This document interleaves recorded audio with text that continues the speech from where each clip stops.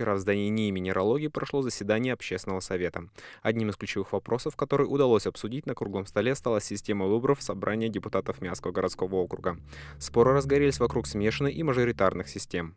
Создать хотя бы какую-то маломальски маленькую фракцию в городском собрании с учетом административного ресурса ну, не представляется возможным.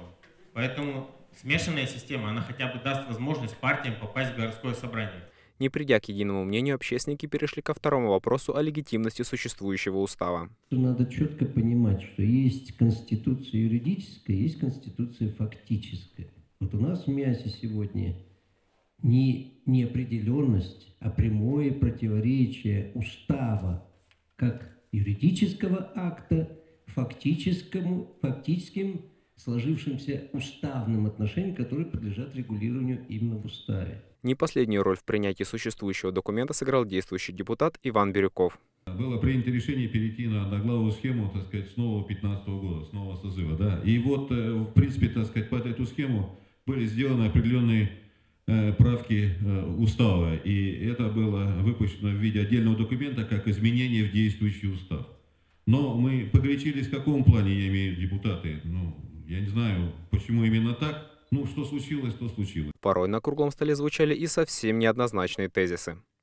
Да, действительно, главу города выбирает все население, и потому доверить ему управление именно хозяйством может оказаться опасным. А когда как баран упрется в стенку и начинает долбить, и потом всех еще, давайте мы из этой стенки сейчас отойдем, ему живот проткнем. А вот насчет депутатов, депутатов у нас в городе Мясе надо избирать по мажоритарной системе. По мажоритарной системе, правильно, мажор. Вот так. И э, почему я говорю? Потому что на сегодняшний день у нас нет никаких партий. Давайте будем э, правильно смотреть правде в глаза. И здесь вот у нас есть представители от якобы партии. Мы их никогда не знали, а когда они узнали, что будут по партийным спискам, они откуда-то появились. Так что давайте будем избирать депутатов. Кто вышел, тот и победил. Самое важное – что у нас на сегодняшний день есть в городе. Руководство полностью, почти полностью оторвалось от населения.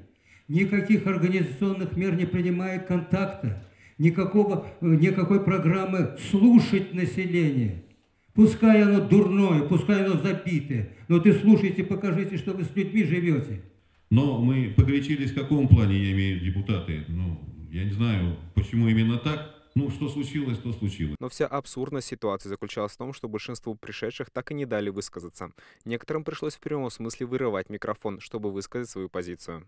Сейчас, если теоретически прокуратура признает вот этот правовой коллапс, чего мы дождемся? Мы дождемся того, что все решения Виктора Георгиевича будут отменены. Грубо говоря, все поставщики обязаны будут вернуть деньги городу, а город, ну, к примеру, возьмем э, сожженный мазут, да, который потрачен был на отопление. То есть вот этого сейчас, э, э, правильно Михаил Юрьевич сказал, что нужен консенсус и спокойствие и понимание. Ну, вот сейчас я, допустим, вижу, что этого понимания нет и спокойствия никому не охота но далеко не все смогли высказать свою позицию по многим вопросам. С некоторыми из них нам удалось пообщаться позже. Мы выступаем за смешанную систему выборов, за партийные списки и за выдвижение одномандатников. Это позволит разбавить представителей партии «Единой России» в депутатском корпусе. Тем самым у оппозиционных партий появится возможность иметь своих представителей, которые будут отставить интересы. За партии голосуют люди, и они должны иметь своих представителей в депутатском корпусе, кто непосредственно будет защищать интересы избирателей. К нам в штаб каждую неделю мы получаем порядка 20 обращений от жителей нашего города. Проблемы ЖКХ, здравоохранения – проблемы с детскими садами, которые мы пытаемся решать, выстраивать диалог с действующей властью. Если обратить внимание на результаты прошлых выборов, за нашу партию проголосовало более 10 тысяч человек. Но по настоящий момент интересы данных избирателей никто не представляет в депутатском корпусе. Смешанная система позволит иметь представителя в депутатском корпусе данных избирателей. Второй вопрос, который обсуждался на Совете, это коллизия норм устава принятых. Вот. Как вы относитесь к этому и уместно ли сейчас в сегодняшней ситуации об этом вообще поднимать речь? Ну, я думаю, что в данный момент нужно задуматься о наличии власти в нашем городе. Э, потому что людей не интересует ошибки в, в уставе, когда они кем будут внесены.